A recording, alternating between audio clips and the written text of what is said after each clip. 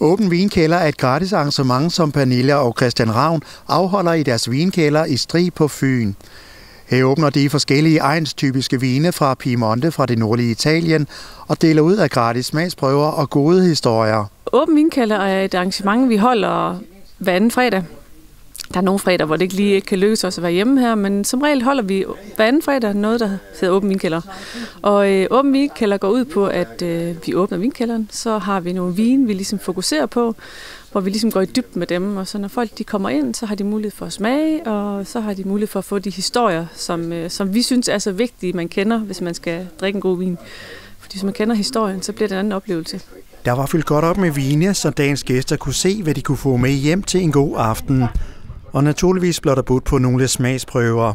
Vi har øh, faktisk et bredt sortiment af Piemontesvin. Øh, det vi har valgt at gøre i dag, det er, at vi har valgt at dykke ned i en vingård, der hedder Isolabella della Croce, som øh, ligger i Luazzolo, som er tæt ved det hus, som vi selv har i Piemonte.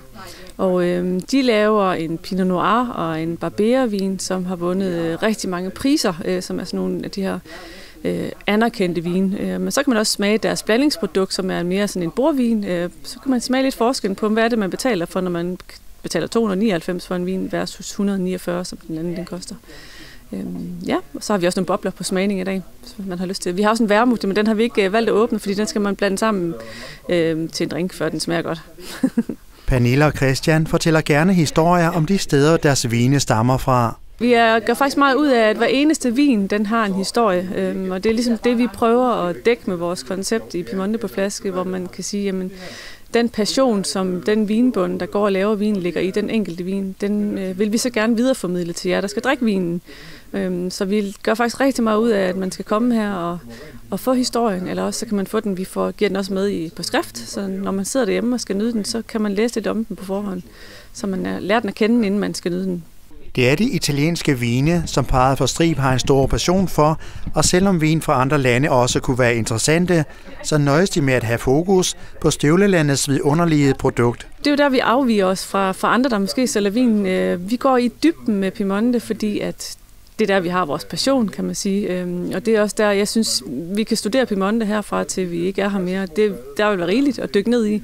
Øhm, så vi går ligesom mere efter dybden øh, frem for mængden, så man ligesom lærer øh, meget mere om Piemonte, inden, øh, inden man skal have deres vin. Øh, fordi Piemonte er sådan en overset region, selvom det faktisk er Italiens mest prisvindende øh, vinregion, og en af de vinregioner, der gør det bedst i hele verden. Men de er ikke sådan nogen, der går ud og brander sig en hel masse. De, de har deres Barolo og deres Barbaresco, som de eksporterer rigtig meget. Men ellers så er de sådan øh, nok præget af, at de er omgivet af alberne og Apenninerne og, og holder sig meget for sig selv. Så derfor er det også fantastisk at komme derned, fordi det ikke er, det er jo kommercielt, og det er ikke stordrift. Det er, der er 40.000 vinbønder i Piemonte, så, som er på størrelse med, med Fyn, der hvor de dyrker vin. Så det siger lidt om, at der er rigtig mange vinbønder samlet på, på et forholdsvis lille område.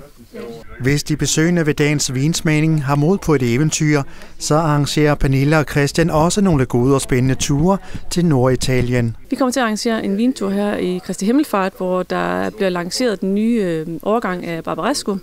Der holder man i Piemonte sådan et øh, uh, tasting-event, hvor man blinder øh, uh, 21 forskellige Barbarescoer. Og så arrangerer vi en tur derned, hvor vi selvfølgelig skal ud og smage på nogle af vinen, og også ud og besøge Isla Bella della Croce, som vi smager i dag. Og så er der sådan en fredag aften, hvor man øh, spiser en god middag og smager de her vine. Øh, så, så ja, det gør vi også. Og dem kommer der flere af. Øh, så laver vi også vinsmagningsarrangementer, både for privat og erhverv. Øh, enten herhjemme i kælderen, hvor vi gør lidt plads, eller også så gør vi det ude i Vinlav Græn, som vi samarbejder med ude i Norge. Det er nogle gode smagsprøver, man kan få hos Pernilla og Christian Ravn her i Strib. Også nogle gode historier får man med på vejen, når de fortæller om deres tur til Italien, hvor de altså studerer de her italienske vine.